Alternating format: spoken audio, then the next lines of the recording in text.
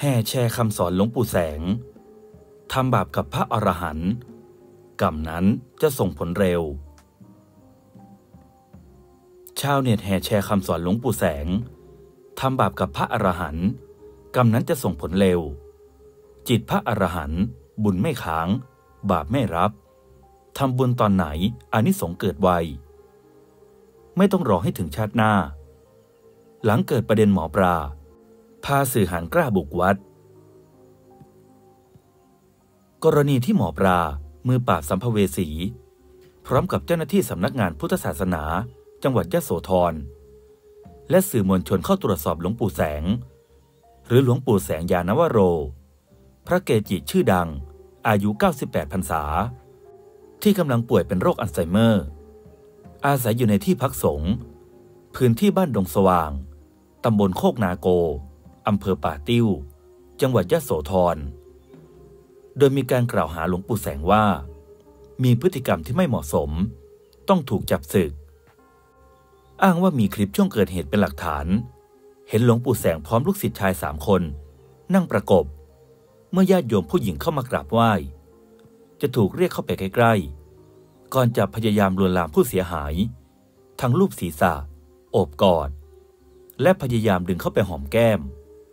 จนถูกสังคมโจมตี และล่าสุดหมอปลาได้ออกมายอมรับว่า เหตุการณ์ดังกล่าวนั้น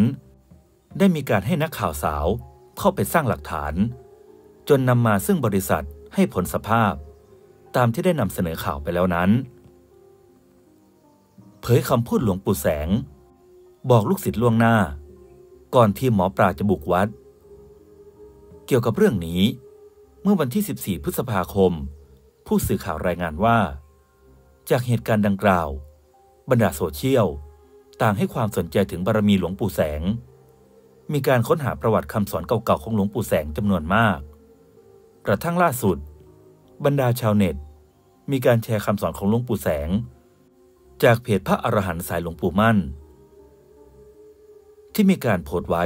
เมื่อวันที่ 17 ธันวาคม ปี 2019 ข้อความระบุว่า เรื่องพึงสำรวมระวัง การทำบุญหรือทำบาปกับพระอรหันต์ผลกรรมดีกรรมชั่วจะเกิดขึ้นเร็ว คติธรรม หลวงปู่แสงยานวโร การทำบุญกับพระอรหันต์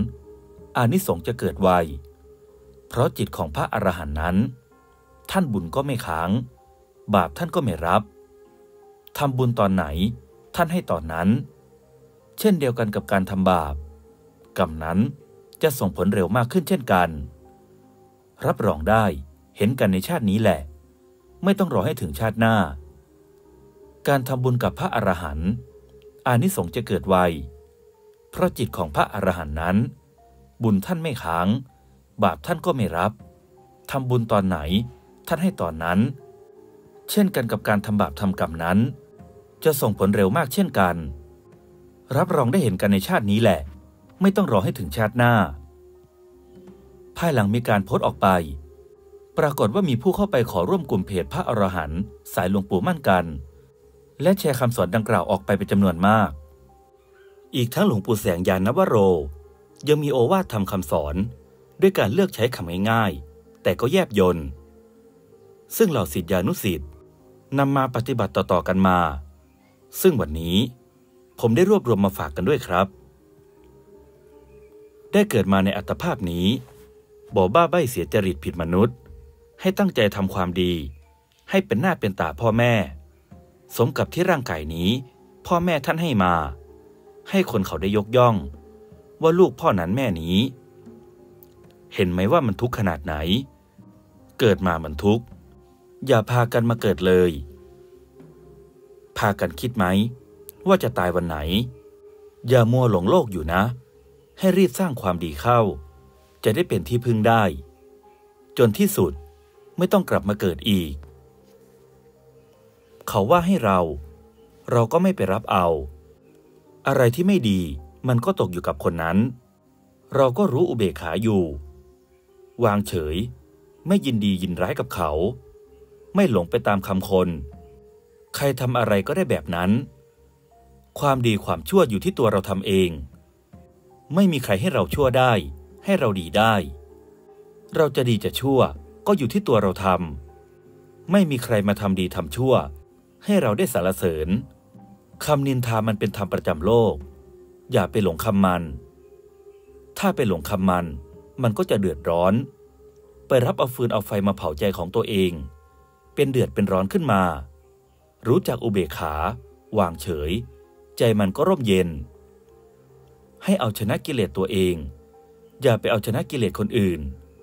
ชนะกิเลสในใจตนได้แล้ว ขึ้นชื่อว่า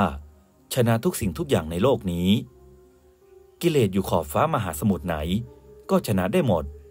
ถ้าเราชนะตัวเราแล้ว ในโลกนี้มีผู้คนมากมาย พากันมาเกิดมาตาย ทุกคนที่มานี่ มีจิตใจกันทุกคน ทุกคนนะ ผู้หญิงก็มีใจ ผู้ชายก็มีใจ คนเฒ่าคนแก่ก็มีใจ พระเนนก็มีใจ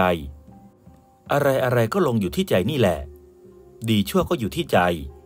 สะอาดก็อยู่ที่ใจ สกรปรกก็อยู่ที่ใจ ถ้าใจมันสกปรกให้ชำระซักฟอกมันออก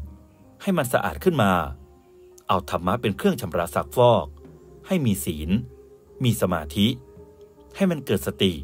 ให้มีปัญญากำกับรักษาใจ ให้มีสติปัญญากำกับรักษาใจไปตลอดทำขึ้นมาภายในใจของตัวเอง ใจนี้พาเกิดพาตายมานานแล้ว